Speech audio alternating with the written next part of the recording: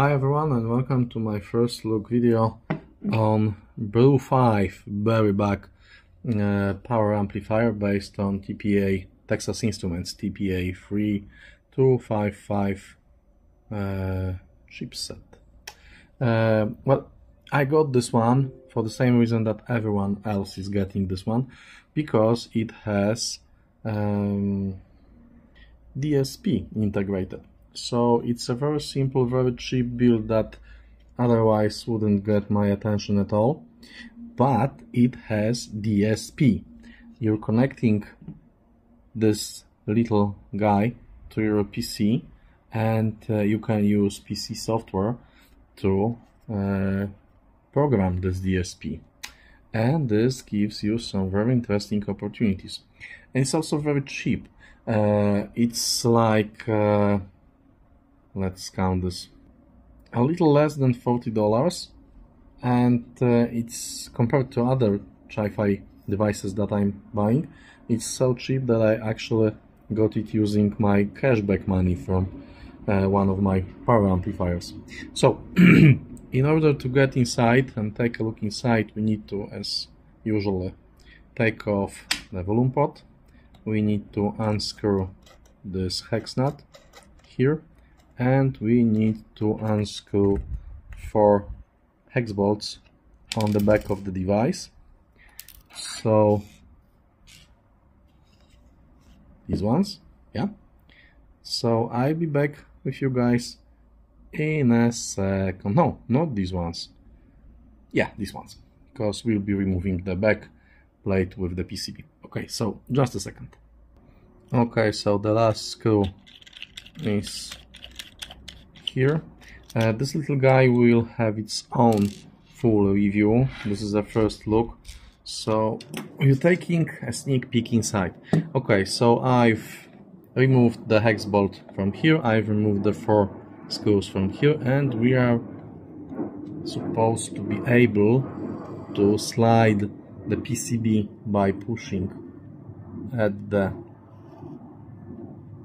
volume pot and yeah here it goes.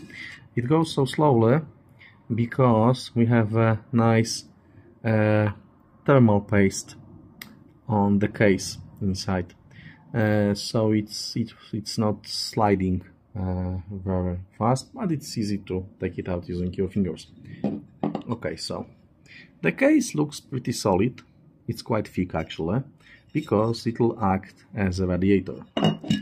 The downside of the PCB has a metal block that's placed on top of TPA 3255 and this block uh, is used to transfer the heat from the chipset to the case and further away.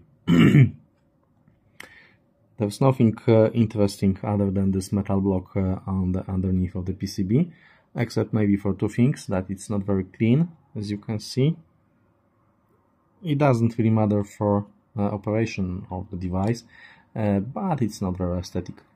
Uh, and the other thing interesting for me is this unusual second layer let's say let's call it second layer of the PCB apparently there was a need for the connection between the back and the front of the PCB and there was no place on the PCB for the tracks or they just forgot to trace that or the plan was to use the cable but for some kind of reason they went with smaller PCB but as you can see there is a small PCB soldered in four points here and it's basically working as a wire. Okay let's take a look at the top. Ta-da ta-da and there's nothing interesting here. Yeah. So I'm trying not to get dirty smeared by the silicone grease. But uh, here we go.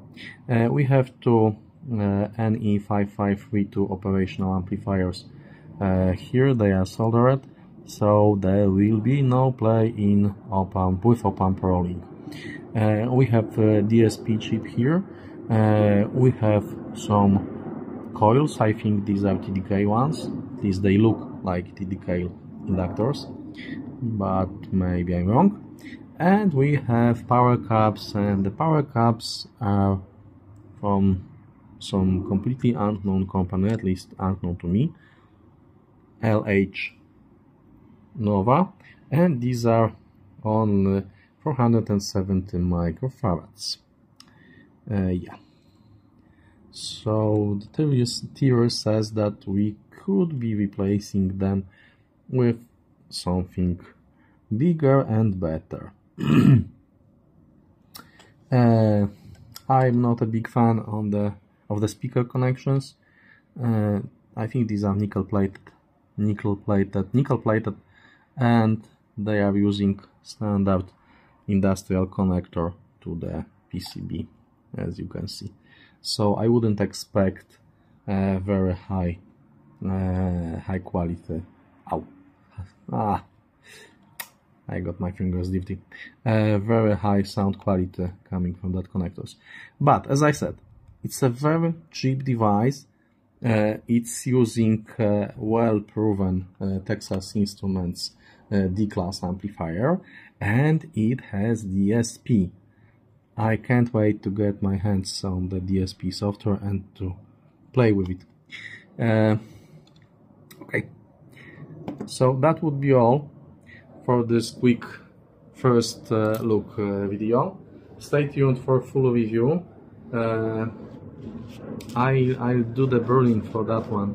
I think it will be like, uh, I don't know, 5 to 7 days. Uh, and then I'll get uh, the PC software for programming this DSP. And I'll try to work out if it's useful or not. So, once again, stay tuned for full video review of this nice toy and have a great day. Have a great day, guys. Bye.